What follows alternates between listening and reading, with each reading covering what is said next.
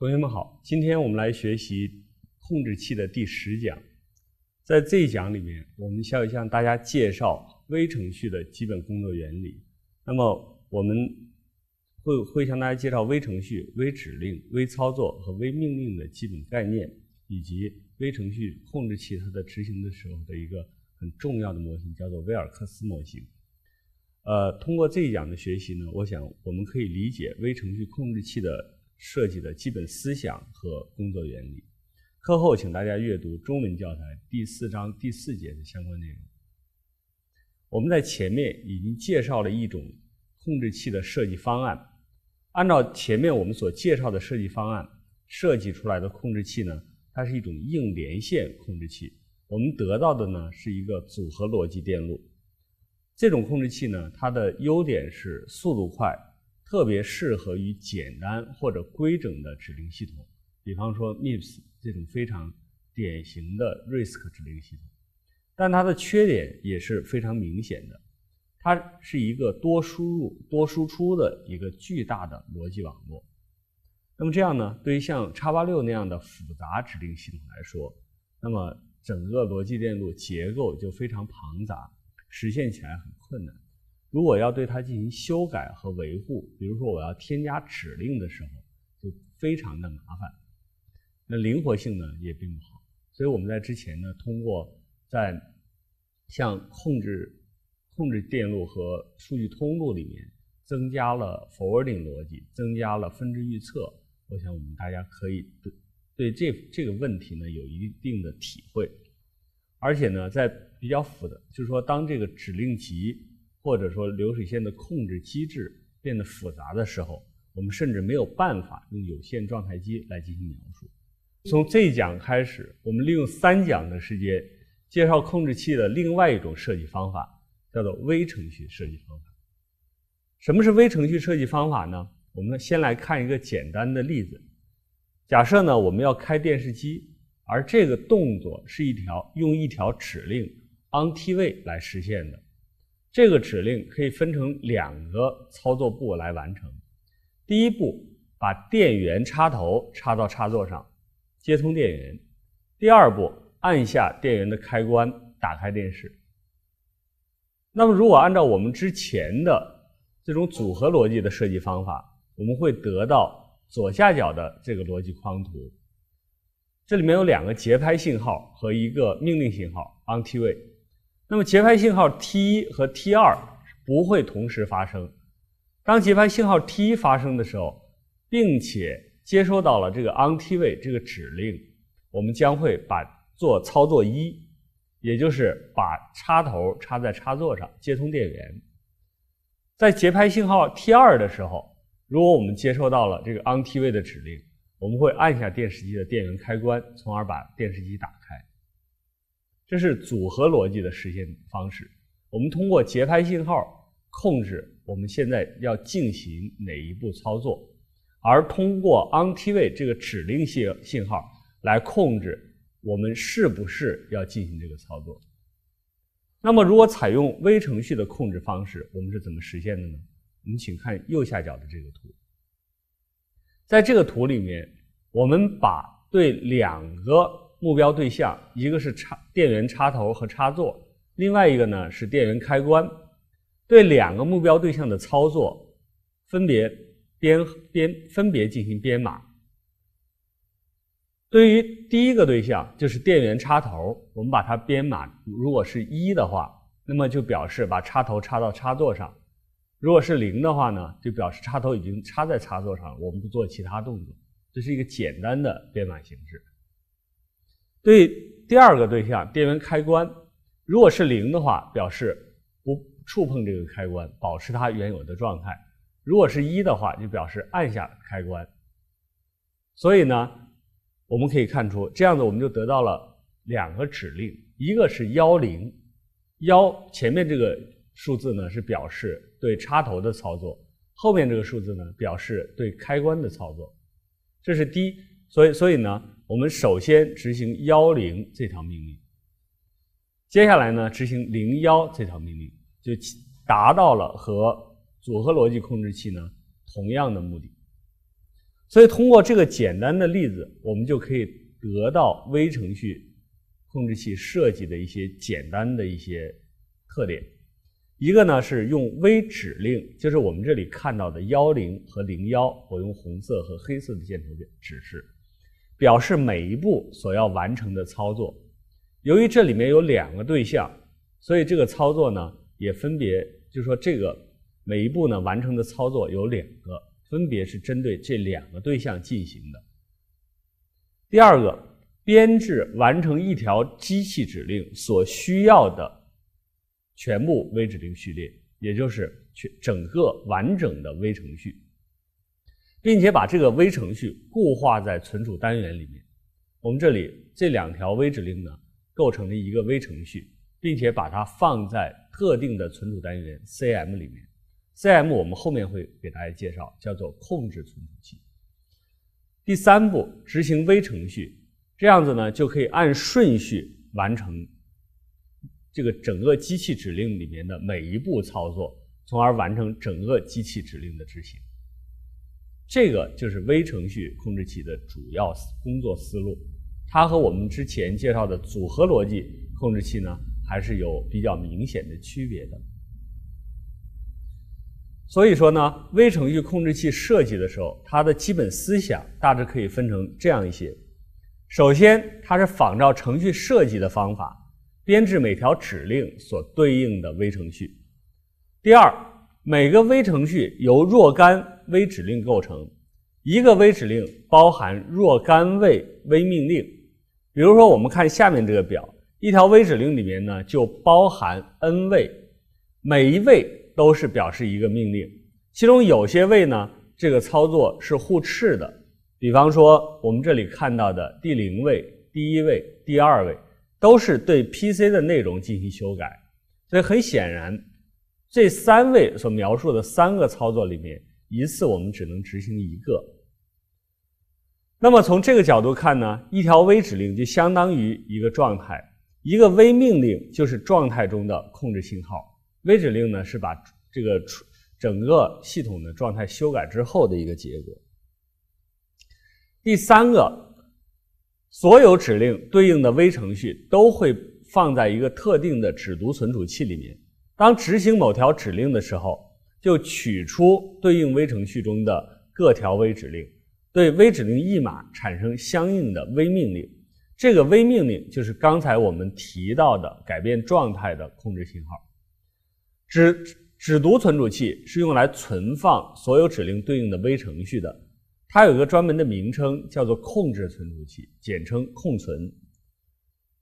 所以微这样看来呢，微程序控制器设计的时候，它就具有这样的一些特点：首先，它具有规整性、灵活性和可为性；但是呢，因为它的执行是通过取出指令来，并且进行译码，才能得到所有的控制信号。所以呢，和硬连线控制器相比呢，它的执行速度要慢一些，不仅受限于访问这个控存的速度，而且受限于信号的这个译码的速度。微程序控制器呢，这个概念最早是在一九五一年由威尔克斯提出来的。他首先提出了微程序的概念，这是一种控制器设计的系统化方法。这个概念的提出，给计算机控制部件的设计和实现带来了巨大的影响。一九五四五三年，威尔克斯又提出了微程序的工作模型，这个模型就以他的名字命名，命名为威尔克斯模型。一九六五年，IBM 三六零首先成功的运用了微程序技术，他第一次提出了系列机的概念。一个系列里面有大、中、小等不同规模的计算机，而且不同规模的计算机在程序指令这个层面上，也就是说在指令集这个层面上是完全兼容的。这个是系列机的一个非常重要的一个特点。这个图呢，就是 IBM 三六零当时的一个照片。它也是最早使用半导体元件的通用计算机系列，它是整个计算代、整个第三代计算机的里程碑。实际上呢，I IBM 三六零这个机器还带来了一系列技术上的革新。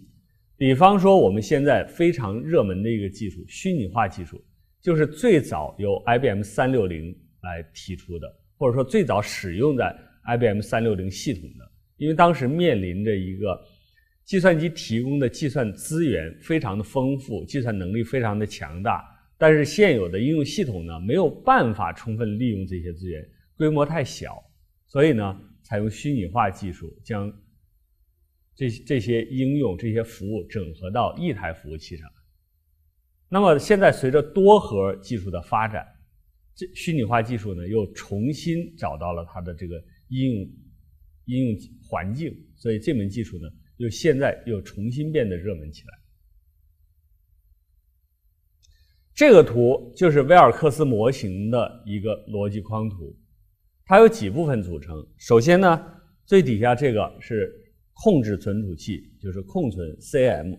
那么所有的微程序呢，都被存放在这个存储器里面。那么这个中间呢，当两条信信号线的这个交点，我们用一个如果用一个斜杠表示呢，就表示对应的控制信号为一；否则的话呢，就表示对应的控制信号为零。那么从存控里面，从控存里面取出来的指令将会放在微指令寄存器里面。它有两个字段，一个是控制信号字段，一个是微地址码字段。控制信号字段呢，经过译码之后，就会产生微操作控制信号，送往数据通路的各个部件。而微地址码字段呢？是用来作为确定下一条要执行的微指令的条件。我们后面呢会专门介绍这两个字段的编码方式。而微程序要执行，离不开就是说确定指明微指令地址的这样的一些寄存器。那么这里面呢有两个这样的寄存器：FCMAR 和 CMAR。那么地址呢会被送到微指令地址译码器进行译码，从而进行访问这个控控制存储器。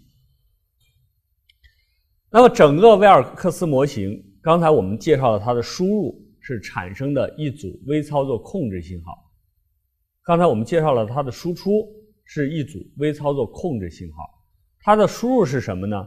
它的输入是来有两个。一个是当前要执行的那条机器指令 IR，另外一个呢是条件码。这个条件码用来确定初始的这个，就用用来确定第一条地址所对应第一条微指令所对应的后续指令的地址。所以呢，条件码要有一个初始值。那么这个微程序。这个威尔克斯模型呢，它的核心是控存，就是 CS。我们把所有的微指令和微程序都保存在这个存储器里面。那么 UP UPC 呢，是指出将要执行的微指令在 CS 中的位置，而 UIR 类似于我们在控在控制器里面看到的 IR，用来保存正在执行的微指令。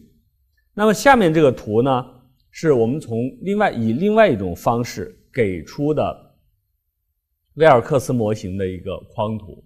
那么它也描述了微程序控制器的基本结构。